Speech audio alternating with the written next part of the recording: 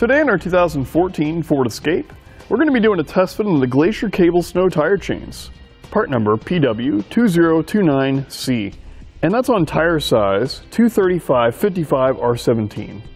These Glacier Cable Snow Tire Chains feature a ladder pattern, so they're going to be very effective when accelerating and braking when driving in the wintry conditions. They also feature spring rollers to form cross cables. Now, though they're not going to give us the best traction on snow and ice, they're going to provide us with a smoother ride than those studded or larger chains.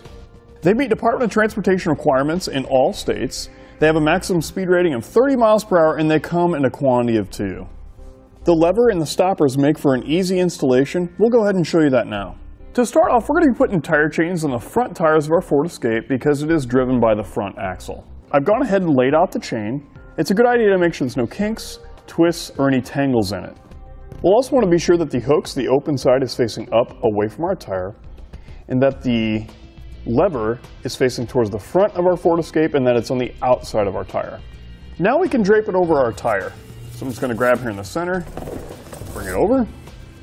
We want to make sure that they're even on both sides. An easy way to check that is to grab here in the front, feel around to the back, and make sure it's about the same.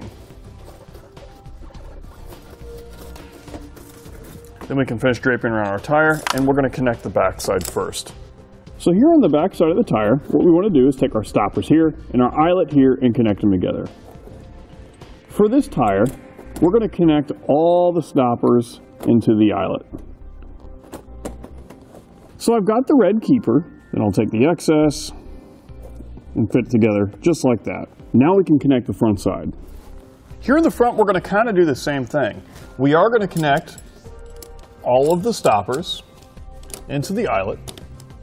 Then I'll take my lever, I'll fold it backward and connect it to the cable here.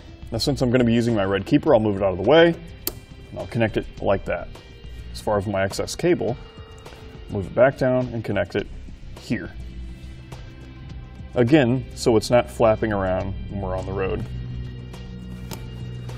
Once you get one side done, you can go ahead and repeat the same process for the tire on the opposite side.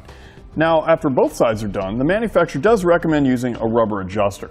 Now what this is going to do is it's going to help keep that cable chain nice and snug around the tire while we're on the road. It's very easy to install. Be sure the hook is facing away from the tire. We'll connect the top, then we'll go directly across. And then we'll just work our way around. As you can see, it's pulling that cable inward and it's nice and snug. And that's going to complete our test fit of the Glacier Cable Snow Tire Chains, part number PW2029C, on our 2014 Ford Escape. Thanks for watching. Click the link in our description below to shop, learn more, or visit us at eTrailer.com. And leave us a comment if you have any questions.